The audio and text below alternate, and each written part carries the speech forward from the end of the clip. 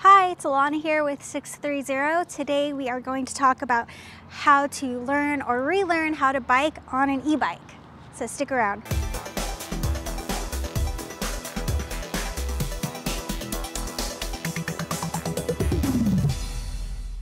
As e-bikes are a little new and getting a little more popular, there are a lot of people that are returning to biking on an e-bike that hasn't ridden a bike in a while. So this video is for anyone who doesn't feel too comfortable on a bike, but has ridden a bike before and just kind of wants refresher um, before getting started on their e-bike.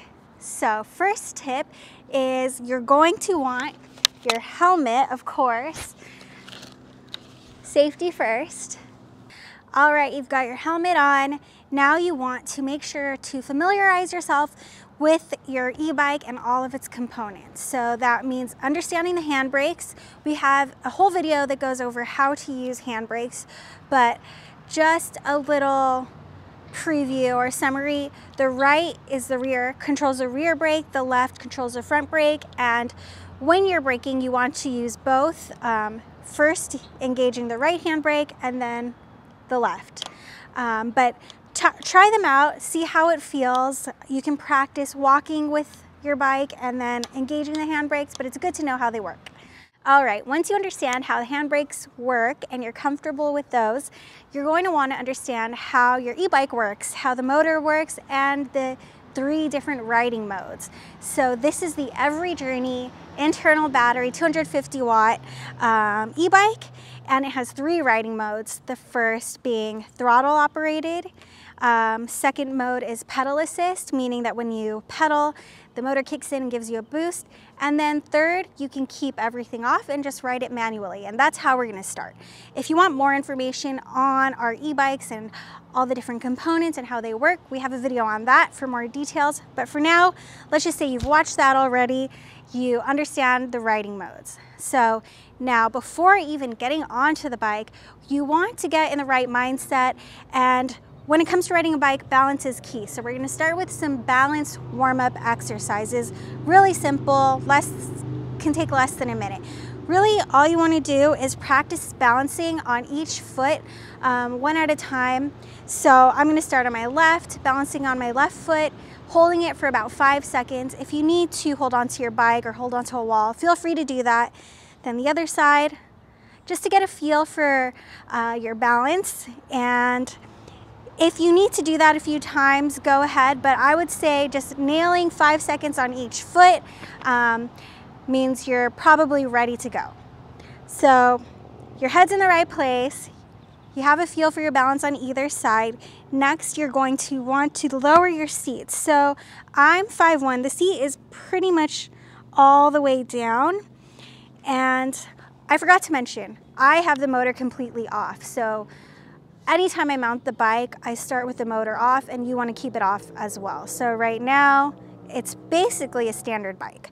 Okay, back to the seat. So the seat is pretty low and the reason is that I wanna be able to place my feet completely flat on the ground when seated, at least to start. And then once you're more comfortable, you can gradually raise the seat so you have better leg extension. So when mounting the bike, which we have another video on, gonna engage the brakes, I usually mount from the left side.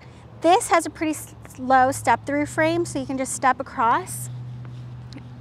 As you can see, I have to get up on my tiptoes um, to sit down. So actually I'm gonna lower the seat a little bit more.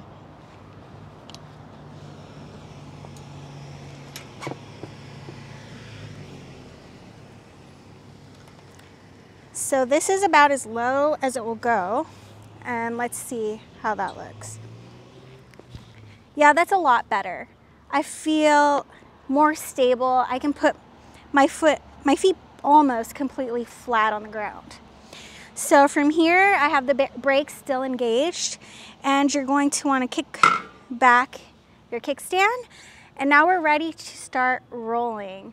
So like those balance exercises we practiced before, you might want to do the same thing. Practice leaning on your left side, leaning on your right side, just to get a feel for it, back and forth a few times. And now we're going to start by walking your bike. So I'm gonna actually get off the seat, standing in front. It might feel a little awkward, but that's okay. You just need to practice this for a few seconds, minutes. But you're basically just going to get a feel for how to maneuver your bike. So you can start by walking slowly, practice going right, practice going left. Do that for a while until you feel comfortable and ready to move on.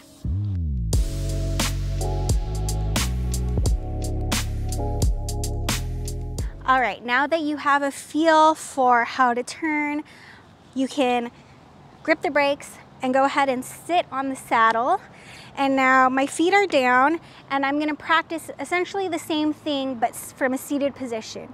So I'm gonna practice walking forward and this is going to require that one foot is raised at a time.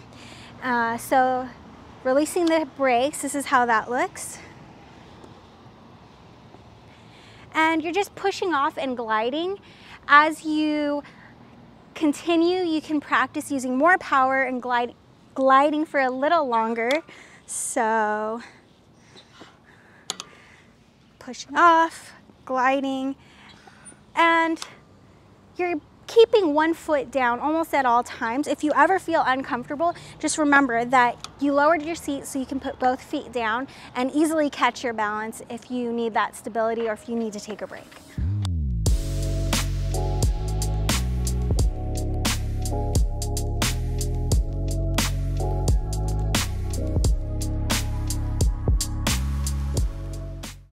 Once you have a feel for gliding with one foot, we're going to move forward to gliding with both feet raised.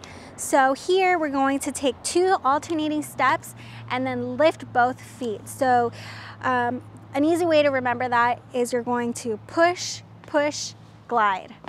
All right, so let's see how that looks. So push, push, glide, push, push, glide. You might have to push three or four times to get enough momentum to lift both feet. Um, another thing that can help is if you have a slight decline, that'll give you a little more momentum as well so you can lift your feet up for longer.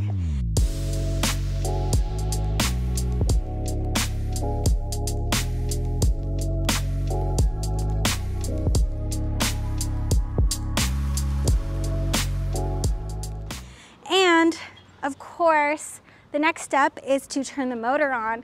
And once you have the motor on and you are able to use the throttle, that is really gonna help you stay balanced. I actually think it's much easier to ride an e-bike than it is to ride a standard bike because you can always use the throttle to get going. And once you're going, it's really easy to stay balanced. So now, hopefully you feel comfortable. You've done a few push-push goes. You've glided for a few seconds with both feet up and you're ready to turn your bike on. So I always suggest keeping the motor off until you're mounted. So here I am, I'm mounted, um, ready to go. So I'm gonna turn it on. And when you turn on your bike, it starts off at pedal assist level one. But for this video, we're going to completely ignore the pedals and we're just gonna focus on staying balanced on our bike. If you haven't tested out your throttle yet, you may wanna step off, turn your motor off, step off, turn it back on, and just give the throttle a tiny, the tiniest tap, um, just so you can get a feel for what it, what it's like when the motor kicks in.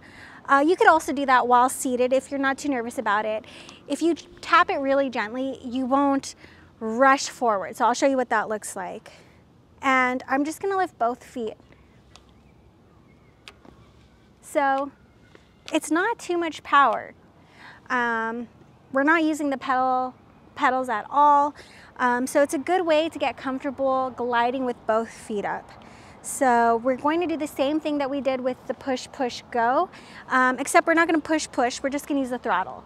Okay, we're gonna gently engage the throttle. I'm pretty small, so I'm gonna just lightly press it, but if you're a little bigger, you might have to press down a little more to get going. As soon as you feel the push, you can just lift your feet. It's, you don't have to lift them too high, just an inch or so off the ground so you're not dragging your feet along. Um, remember to stop. You have your hand brakes right, rear, left, front, and you can always put your feet down to catch your balance. So let's go. Pushing down on the throttle now and just keeping it slow. If you go faster, it's easier to go straight, but if you're nervous about going fast, then you're going to have to stay a little more balanced, but that's okay. So I'm at six, 6.7 miles per hour here. And you can slow down with your rear handbrake and just practicing going around, turning right, turning left. Um, and if you feel up for it, you can increase your speed. Now I'm at nine. Slow down again with the right handbrake. And if you're feeling really confident, you can go ahead and place your feet on the pedals. I'm still not pedaling, I'm just using the throttle.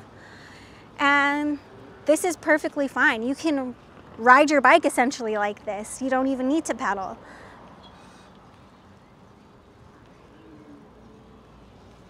Once you're comfortable gliding using the throttle with your feet on the pedals, then you can experiment with raising your seat a little more so that you're, you get better leg extension.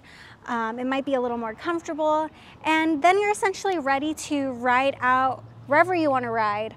Uh, that's the great thing about e-bikes. You don't necessarily need to pedal. If you can get the throttle going, you're basically riding your bike. So we will cover how to use the pedals in our next video, but hopefully this was a good intro into learning how to bike again on an e-bike. If you have any questions, please leave, us, leave them in the comments below and feel free to add any other tips you have for new riders. Also, be sure to check out our sixthreezero Pedalers group.